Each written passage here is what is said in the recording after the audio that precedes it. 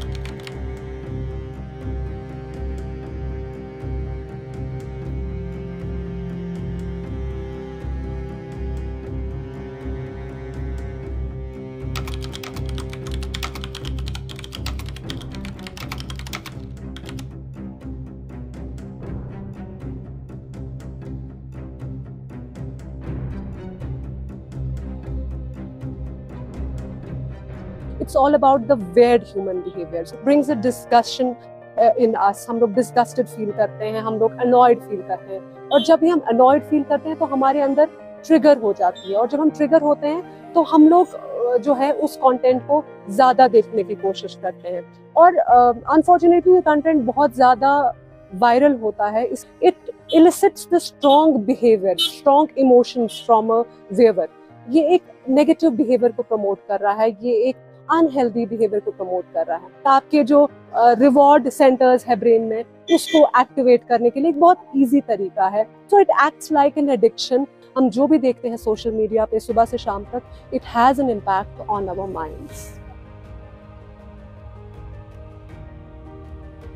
creators problem problem यथ society so basically value करान तो सह बेसिकली वनान एज एज कलेक्टिव सोसाइटी अस कूता बोन वन गमित। डाउन टाउन चन गलियन मज वुचू तुम वन तन अलामा इकबाल सिंह फ़ोटोज़ लगित। यह आइडिया दिवान कि कम किस्म शायरी अस सोन माशर बेसिकली वैल्यू करान तो सेलिब्रेट करान यह सोद कत इंसान कत चीजस कर वैल्यू सह तम सुन पन टेस्ट तम सुन मिजाज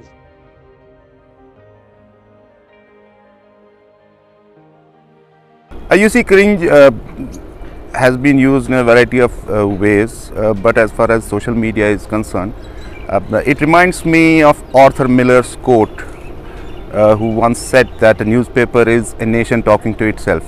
But now we are living in a post journalism world, so where everyone is in a war to get himself or herself noticed.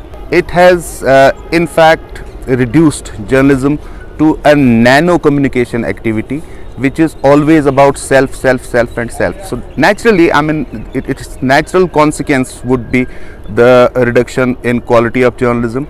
It is now everyone has become a journalist. World over there are no laws as of now which could you know regulate the quality which could you know uh, give us a code of conduct or a code of ethics. So this is this is everything is happening in a vacuum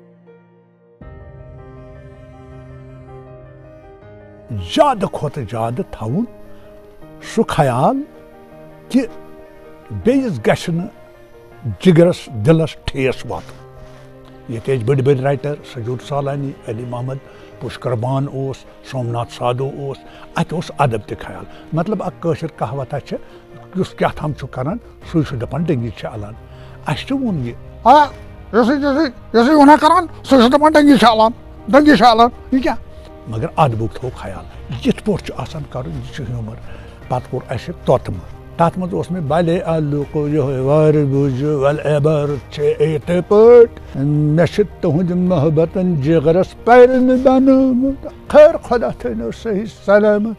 आज मे दुआ खैर करान आज actor यह दपान मे मा ग प्राच हज।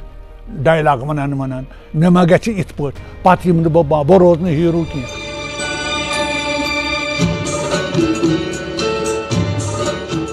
बहुत खराबी हुई इस म्यूज़िक की।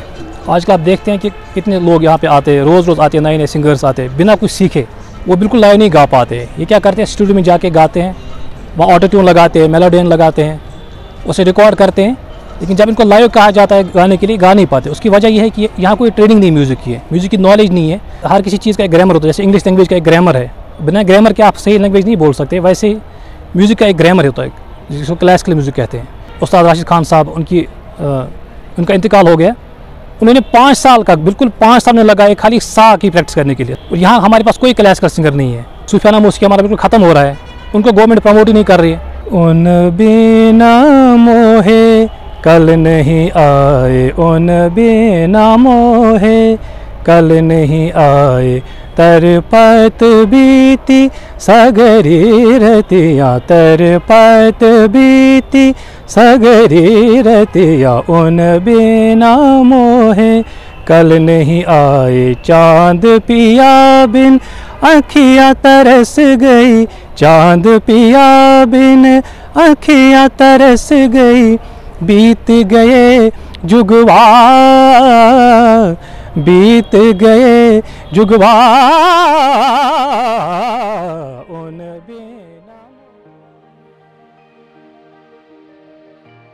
आजकल क्रिंज कंटेंट बहुत ज़्यादा बल्क में अवेलेबल है on the internet cringe content नहीं होना चाहिए and it has an negative impact on us on our children but at the same time the hypocrisy is that we watch it and most probably we like it as well.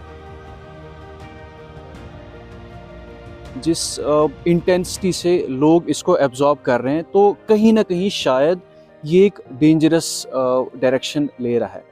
There are people जो अच्छा content बनाने वाले हैं। मैं किसी भी जनर की बात करूँ, चाहे जर्नलिज्म हो म्यूज़िक हो पोइट्री हो, या ह्यूमर हो सटायर हो